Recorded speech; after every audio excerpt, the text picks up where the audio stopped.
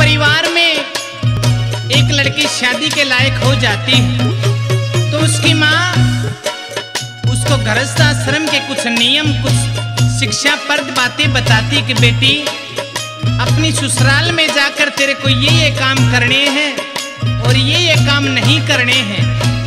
बहुत ही शिक्षा परद वज़न है। आइए, सुनिए कैसे